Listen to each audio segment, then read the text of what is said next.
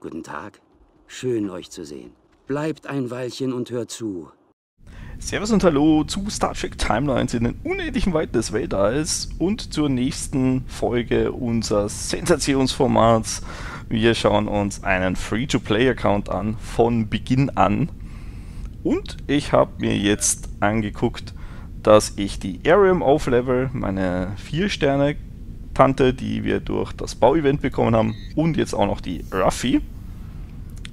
Das heißt, wir können die jetzt nach wie vor oder weiterhin super gut für Missionen verwenden und sie können weiter an Erfahrung leveln.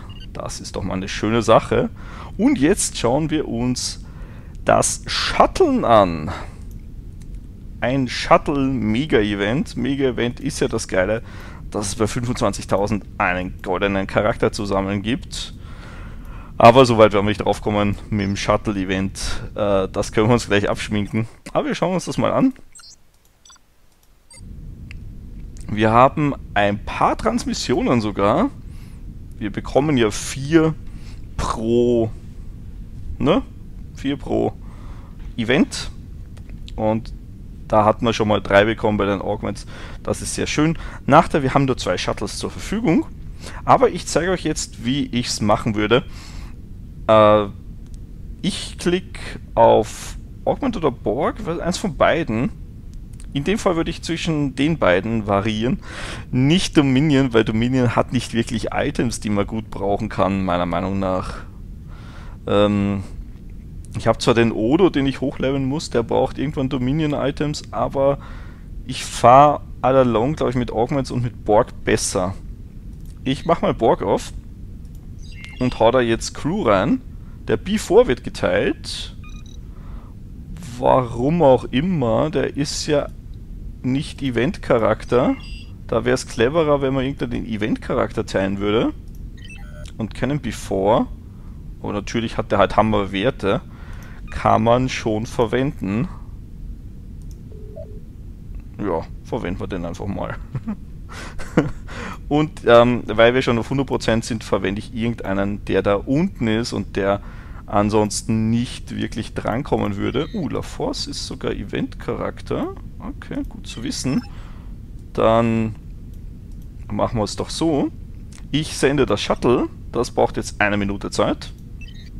Mach das nächste auf. Schauen wir uns das mal an. Äh, ich werde gucken, dass ich beide bediene. Also, dass ich die Arium da reinsetze, weil die beide Werte hat. Das habe ich schon mal alles erwähnt in einem extra Tutorial-Video rund um Shuttle-Events. So, da können wir jetzt den Data einsetzen. Und dann nochmal den PK, kommen wir auf 92%. Ich habe überhaupt keinen Shuttle Boost. Okay, dann müssen wir leben mit den 92%. Eine neue Shuttle Round kostet 750 Dilithium, das ist recht viel. Vergrößere die Shuttle-Flotte, ja, vielen Dank dafür. Das ist recht viel. Diese 750 Dilithium rentiert sich aber schon. So, und jetzt kommt gleich ein Shuttle zurück. Und jetzt möchte ich nicht auf Abschließen gehen in dem Fall, weil wenn ich auf Abschließen gehe, dann erhöht sich die Zeit und der Schwierigkeitsgrad. Und ich habe ja jetzt gerade am Anfang schon Probleme. Und deswegen möchte ich auf einem kleinen Schwierigkeitsgrad bleiben. Nachteil, ich habe die Crew nicht zur Verfügung, die ich ansonsten aus meinen Shuttles wieder rauskriegen würde. Ähm, ich muss mir merken, lang lebe die Königin. Das ist nämlich die Mission, wo mein äh, wo, wo dieser andere Dude drinnen sitzt da von der Crew, von, von dem Geschwader, der geteilt wurde, der Lower, der Before. Und deswegen möchte ich lang lebe die Königin eher abholen, als die Bedeutung hat den Namen.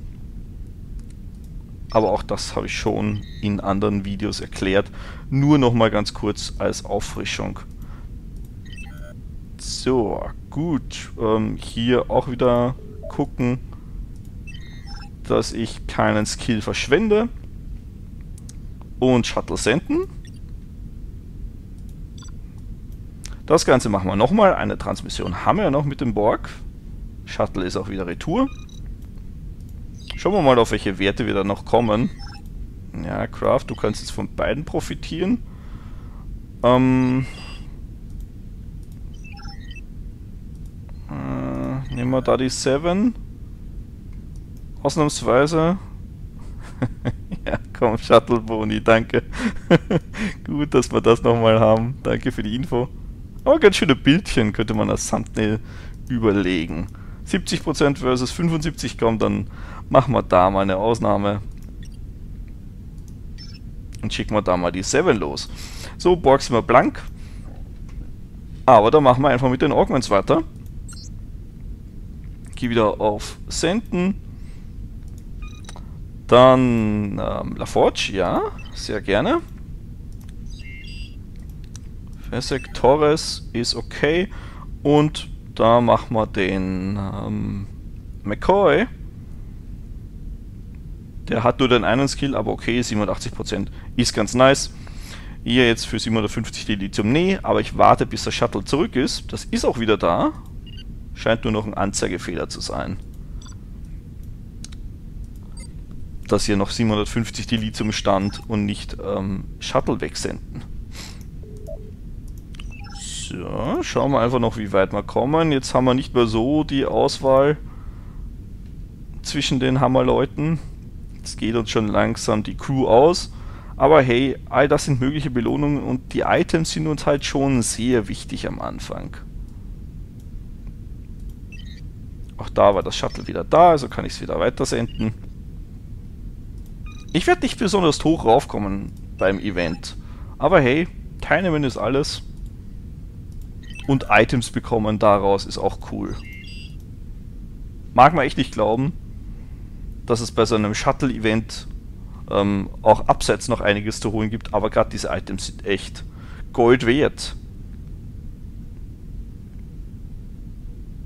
Und nebenbei holen wir auch noch ähm, die Belohnungen für das da unten für die täglichen Missionen. Dafür gibt es nämlich auch nochmal einige Belohnungen, Verdienste in dem Fall. Und wir sind fast beim nächsten Kampagnenziel und da gibt es ja dann nochmal Verdienste. Geile Sache. So, gut. Wir machen weiter. Ich gehe nochmal auf Augments. Da nehme ich es jetzt nicht mehr so prall.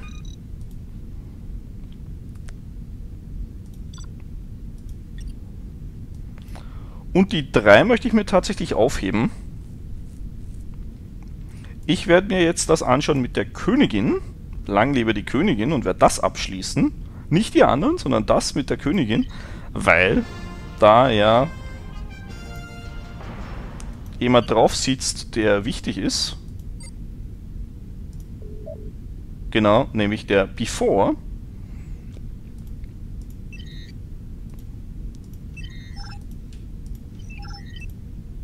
Und der schafft es ja schon einmal allein, mir diese Mission zu machen. Und ich habe nicht mehr so viele Transmissionen. Das heißt, jetzt muss ich dann anfangen, dass ich ein paar Punkte mache. Gehe da auf Shuttle senden. Das Ganze läuft drei Minuten. Und ich werde mir dann diese Langlebe die Königin einfach noch einmal zur Brust nehmen Entschuldigung, war jetzt nicht Lang lebe die Königin, sondern heißt jetzt äh, Sicherheit. Stimmt ja. Ich habe ja nicht alle aufgemacht, sondern jetzt ist es zur zugesicherten Sicherheit geworden. Und das Ganze kann ich dann noch zweimal machen. Wenn ich da jetzt auf Abschließen gehe bei den anderen, dann erhöht mir das nur allalong die Schwierigkeit. Und da werde ich wahrscheinlich Probleme bekommen. Außerdem äh, erhöht es mir die Länge, wie lang diese Shuttles unterwegs sind. Und dann müsste ich schon eine halbe, da müsste ich schon, weiß nicht, eine halbe Stunde, Stunde oder gar eine Stunde warten. Und dann wird es echt schwer, dass ich die Shuttles noch echt noch gut abschließen kann. Nächste Belohnung, ja, das holen wir uns dann später ab, wenn ich diese Shuttles zurückgeholt habe. Zugesicherte Sicherheit. Okay, passt. Dann wissen wir das mal. Die sind jetzt alle im Shuttle. ist das so ein bisschen der Nachteil. Man kann sie halt gerade nicht wirklich verwenden. Äh, nicht wirklich irgendwelche anderen Missionen machen, weil die halt alle gerade in Shuttles unterwegs sind. Ich kann halt nur irgendwelche Warp-Missionen machen, um an Items zu kommen.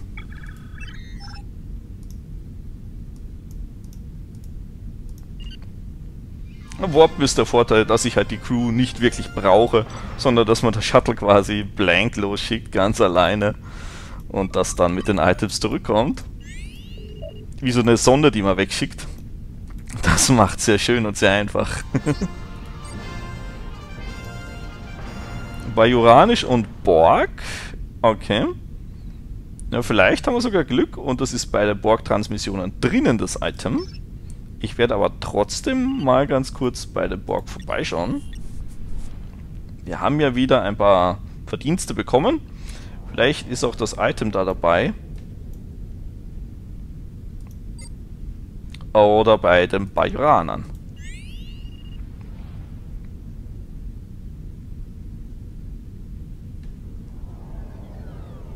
Ja, perfekt. Für 50 Verdienste sogar nur. Das ist doch ein Schnäppchen. Wenn es anders geht, dann macht es anders. Also wenn da noch irgendwo eine Mission wäre, dann macht es auf jeden Fall die Mission, wenn ihr die schaffen könnt. Ähm, aber wenn es wie in dem Fall nur durch Transmissionen geht, ja dann hilft es nichts, dann muss man da mal vorbeischauen und weiter aufleveln.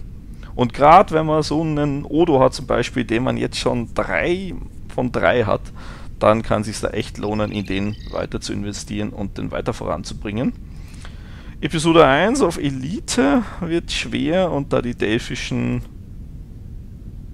irgendwo da hinten, das müsste man sich anschauen, ob das klappt.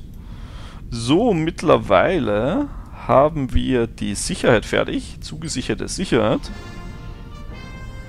Perfekt. Dann gehe ich nochmal auf Augments schick was Neues los und auch hier natürlich wieder Before. Der kommt noch auf 99%.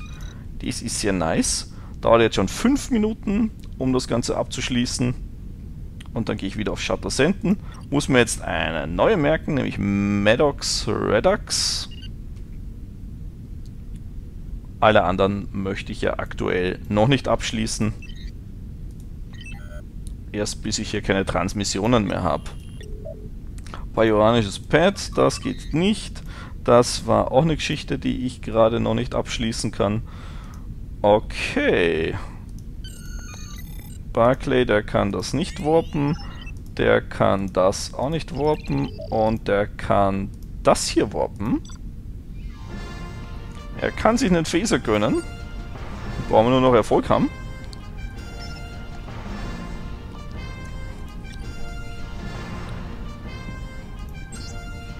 Nebenbei versuchen, die Mission nicht zu vergessen. Maddox Redux.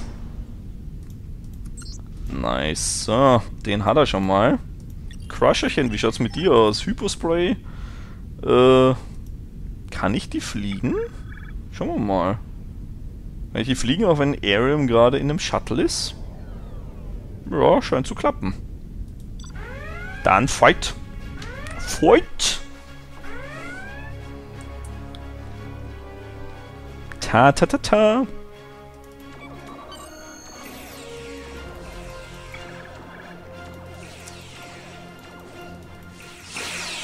Boah, das hat reingezimmert. Das war schön. Da war, glaube ich, auch noch die Verteidigung unten, deswegen hat das besonders reingeballert. Könnte sich ausgegangen sein. Mit den 20 Sekunden. Und? Yes! Yes, yes, yes, yes, yes, yes, yes. Elite freigeschalten. Nice. Crusherchen hat ihr Hypospray aber nicht bekommen. Das heißt, wir warpen das Ganze nochmal. Oh, schönes Item. Immer gut brauchbar. Da ihn. Hypospray, Crusher, gönn dir. Oh je, das, oh je, oh Gott, das ist ein Scheiß-Item. Das ist ein Kack-Item, ich hasse es. Ich mag es überhaupt nicht und das ist auch nochmal drinnen. Oh je, Crusher, was tust du mir an mit den Gurkengläsern? Was tust du mir nur an? Brauchen wir lieber mal das Item für die Arium.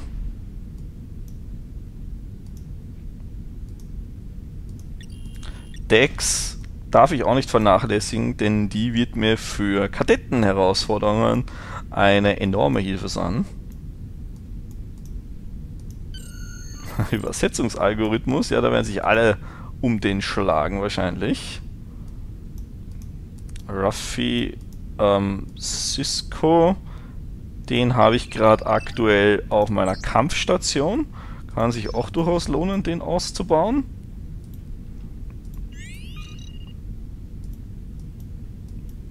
Da kann ich noch nichts warpen. Die mit Stern sind noch ein bisschen schwerer zu kriegen.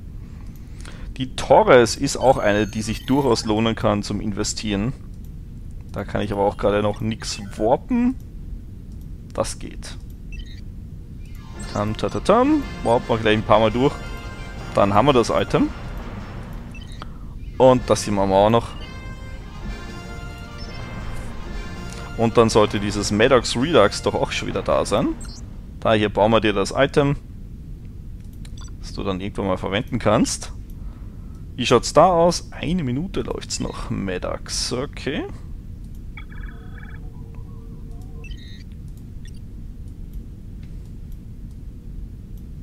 Eine Augment-Transmission haben wir noch.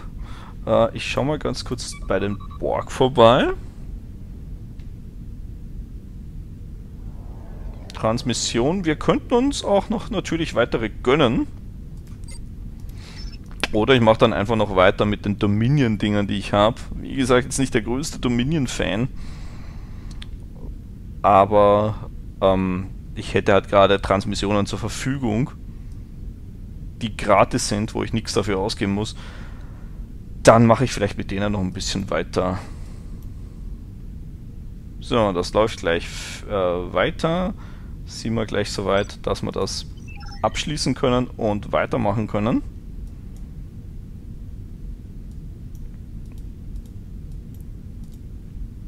Ha! Skalpell! McCoy! Gönn dir das Skalpell, das ist schön. Wenn man McCoy was kriegt, was er braucht.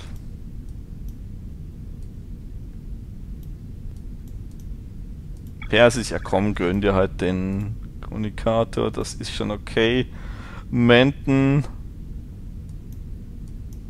könnte wichtig werden. Sternflottenuniform, YOLO.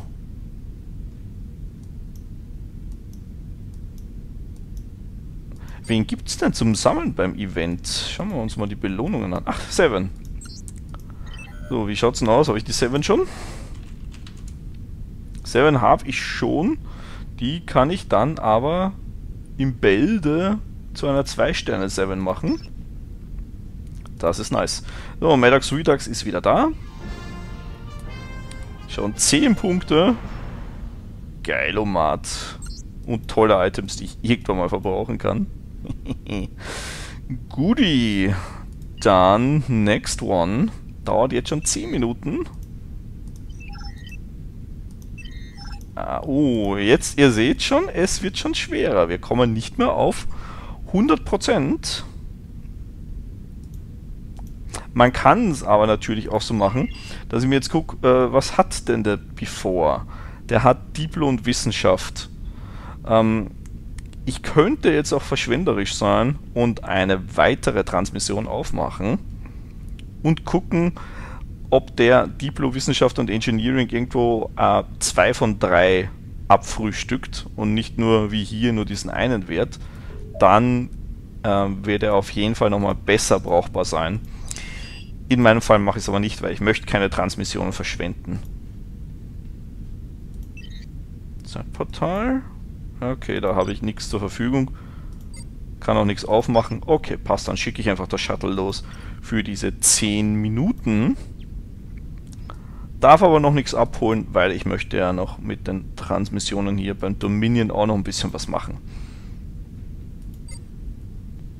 Au, nice. Abholen, cool.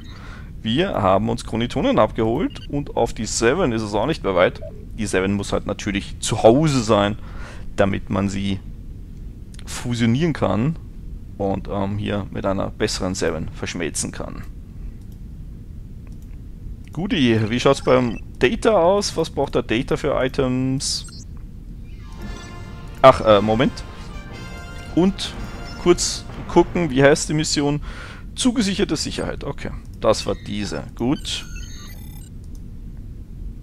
Ah ja.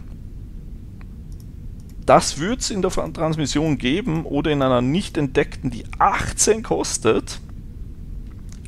Also werde ich mir die Karten auch wahrscheinlich über eine Transmission holen. Weil wenn was schon 18 kostet, dann bedeutet das, das wird ziemlich Late Game sein. Okay, 50.000 Credits ist okay. Passt mir. Und dann kann ich ihm den Visor geben. Ja, das wird gehen. Das werde ich schaffen, wenn meine Crew wieder da ist. Und auch das gelingt wieder, wenn die Crew da ist. Ein bisschen so ein Sitzen auf Nadeln. Wann kommt dann endlich die Crew wieder? Ich möchte meine Charaktere weiter ausbauen und äh, voranbringen. Glaube, ich werde es auch ein bisschen beschleunigen für die Videolänge. Normalerweise würde ich jetzt einfach so weitermachen, dass ich ähm, die 10 Minuten jetzt abwarte und dann wieder ein Shuttle losschicke, wieder 10 Minuten abwarte und wieder ein Shuttle losschicke. Ähm, ein zweites Shuttle loszuschicken ist halt gerade so eine Sache. Ich kann es euch ja mal ganz kurz zeigen. Ich habe halt echt wenig Crew zur Verfügung. Das wird jetzt 10 Minuten dauern und wird ziemlich sicher failen. Man bekommt zwar einen Bruchteil der Punkte trotzdem. Aber 38% boah, nee, bei aller Liebe nicht so wirklich. Das heißt, ich möchte das hier ganz gerne ähm, so gut es geht mitnehmen, den Bonus. Und weiter aufleveln. Hab gerade durchgeguckt durch die Episode 1 und schauen wir nochmal die normalen Kämpfe an. Vielleicht gibt es ja da welche, die ich noch abschließen kann. Denn dafür brauche ich ja gerade keine reguläre Crew da. Die sind quasi am Shuttle, können aber trotzdem gleichzeitig in das Schiff hüpfen und den Kampf machen. Und das ist doch ideal. genau das wollen wir haben. Ja, diese 200% mehr Schaden, die fetzen schon ganz schön rein. Die Ruffy, die macht schon guten Damage. Nice, sehr schön. Sollte sich ausgegangen sein. Mit unter 20 Sekunden. Yes. Cooli, cooli. Dafür gibt es auch wieder Erfahrung und die beiden können noch weiter aufleveln. Das haben wir ihnen ja garantiert dadurch, dass wir sie mit Items ausgerüstet haben und aufsteigen haben lassen. Und dann schauen wir mal, ob uns das noch weiter gelingt. Hier zum Beispiel Schiffskampf in Episode 2. Fight gegen Belana Torres. In ihrem Marquis Rider. Aram erhöht schon mal ein bisschen den Angriff und gleich kommt die Ruffy und wird richtig reinzimmern. Ja, da könnte besser sein. Könnte besser reinzimmern. Aber wird das wahrscheinlich nicht klappen mit den 20 Sekunden. Komm, Ruffy.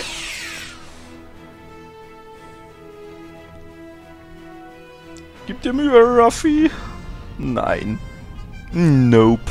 Natürlich nicht. naja, Items haben dabei rumgeschaut.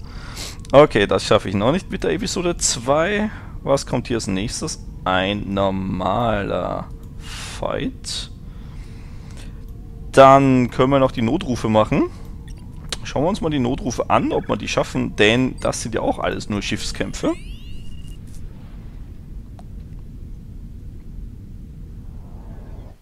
Ja, Story, bla bla. Constellation gegen Köttinger.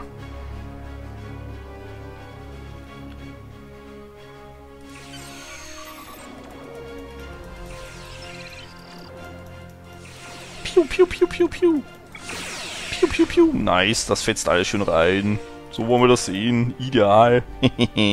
Schön.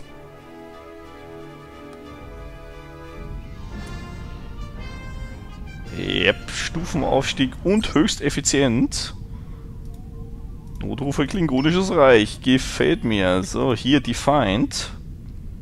Defight.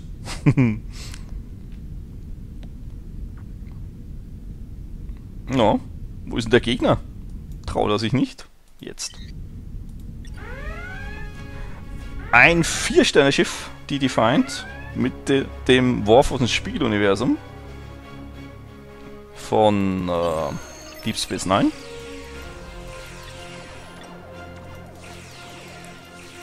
Aber die Defiant hat offensichtlich keine Skills. Das ist ja nice. okay. Ein skillloses Schiff. Das ist immer gern gesehen. Wird sich aber wahrscheinlich nicht ausgehen. Mit den 20 Sekunden. Mal gucken. Ja, nee. Leider nicht. Egal. Oh, Level 11. Wupp, wupp, wupp.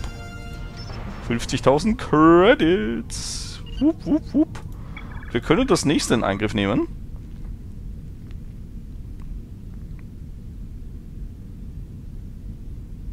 Und ja, wieder mal mein Plädoyer. Auf jeden Fall. Spielt's Missionen, spielt's Weltraumkämpfe. Kostet jetzt schon 6 und ist ein 5-Sterne-Schiff. General Kang. Alles, was geht, mitnehmen.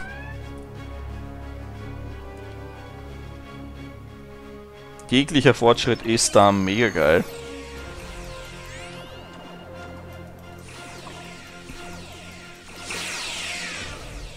Da war wieder die Ruffy mit ihrem 200% Schaden.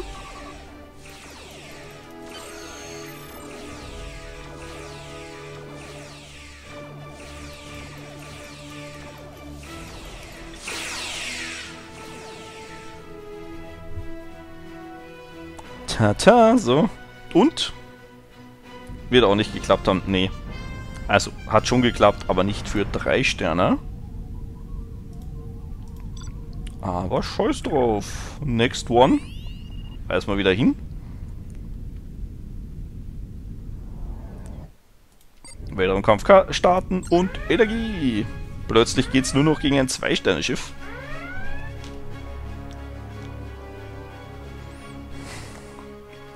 Ohne Skills. Interessant.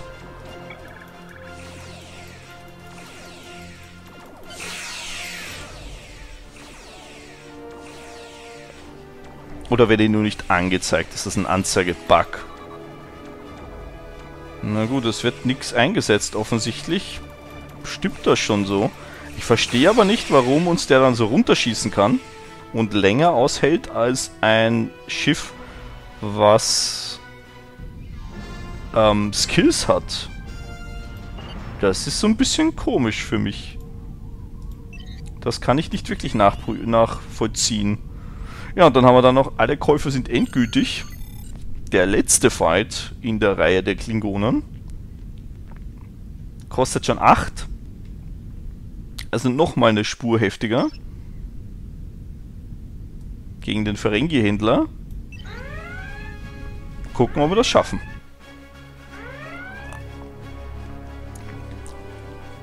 Und ich freue mich schon so auf die Belohnungen, die wir gleich abholen werden. Bei unserem Shuttle-Event. Beim Mega-Event. Für den goldenen Charakter wird es nicht reichen. Aber zumindest die Seven können wir uns abholen, denke ich. Und dann die Seven auf den nächsten Stern bringen. Das ist auch schon mal echt cool.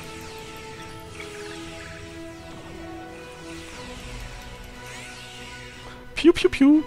Nice, das haben wir auch noch geschafft. Zumindest auf zwei Sternen, denke ich mal. Yes. Immerhin. Immerhin. So, wir schauen nochmal zurück. Wie schaut es mit der Sicherheit aus? Die Sicherheit ist wieder da. Zugesicherte Sicherheit. Yes. 25 Punkte. Knapp an der 7 dran. So, und jetzt mache ich so, dass ich da noch einmal Crew reinsetze. In die Dominions. Dauert jetzt auch nochmal 10 Minuten. 97%. Ja. Ähm, und jetzt mache ich so, dass ich diese ganzen Sachen hier abhole. Das war mal ein Fehlschlag. Das war ein Erfolg. Bringt uns zwei Punkte. Wie gesagt, die Schwierigkeit wird jetzt höher. Fehlschlag, Erfolg, Fehlschlag und Erfolg. Und es hat für die 7 gereicht. Wupp, wupp, wupp. Schauen wir mal, was wir als nächstes noch so kriegen könnten. Ja, mal schauen, wie weit es noch rauf geht. 225 ist dann schon ein Sprung. Aber die 7 haben wir. Das heißt, wir können sie verbessern. Ich schaue nur mal, ob wir noch eine andere hätten. Nee, nur die eine. Ja, gönn dir den Anzug. Du kriegst sogar zur Feier des Tages was spendiert. Aber nicht alles auf einmal ausgeben, Seven.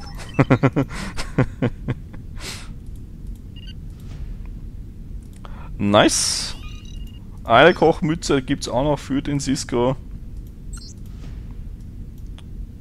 Ja, dann soll es das, glaube ich, gewesen sein.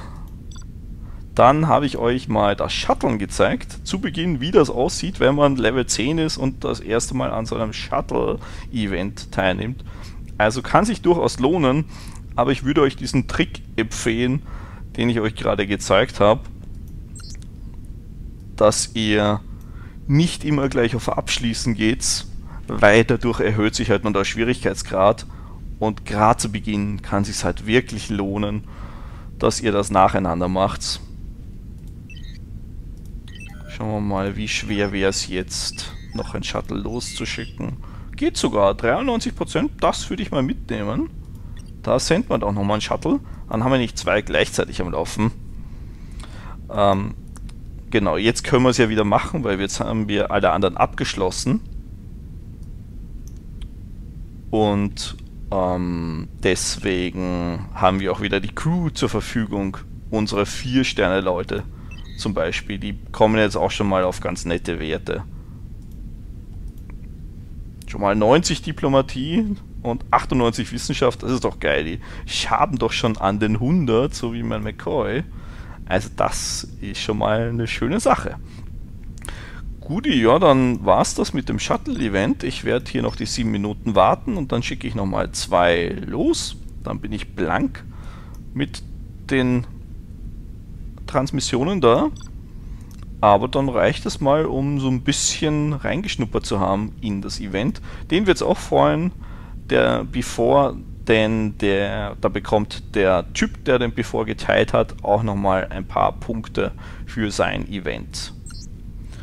Guti, dann soll es das gewesen sein mit einem kleinen Update rund um das Shuttle-Event und zusätzlich haben wir auch noch uns ein bisschen auf der Galaxiekarte hier weiter nach vor bewegt. Dann würde ich sagen, vielen Dank fürs Zuschauen.